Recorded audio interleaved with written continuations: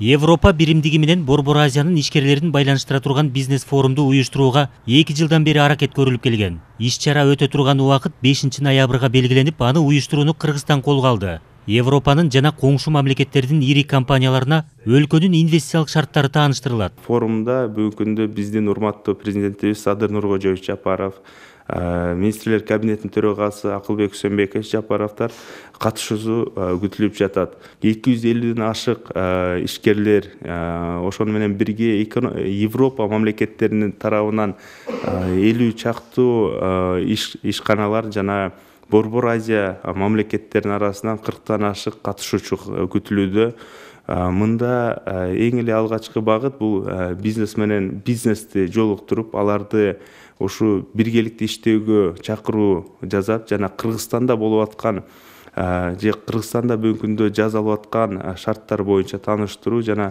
жалпысынан эле ушул борбор азияда бүгүнкү күндө кандай реформалар жүргүзүлүп атат кандай шарттар бүгүнкү күндө түзүлүп атат жана европа мамлекеттери менен кайсы багытта биргеликте иштейбиз деген сунуштарыбызды дагы өз тарабыбыздан бүгүнкү күндө көрсөткөнгө даяр болуп атабыз.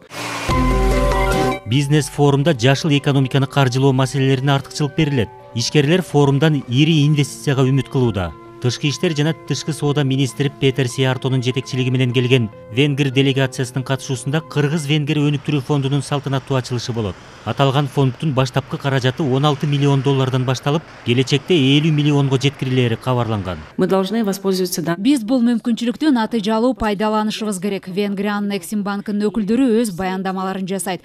Кыргыз венгер өнүктүрүү фондунун максаттары жана каражатты кайсыл тармактарга сарптоо зарыл экендиги тууралуу сунуштарын айтышат. Биз бизнес акыйкатчы кыргызстандагы инвестициялык шарттар тууралуу маалымат берет. Форумдун катышуучулары туризм айыл чарба тармагындагы кызматташуу маселелерине өзгөчө токтолушат. Баяндама жасай турган баардык меймандар өз тармагын мыкты өздөштүргөн ишмерлер. Бизнес форумдун алкагында тиешелүү жетекчилер австриядан келген он эки компаниянын андан соң венгриянын он алты ишканасынын өкүлдөрү менен өзүнчө жолугушуу өткөрөт. Калыгул асанбаев нуркамил асанов ала тоо жыйырма төрт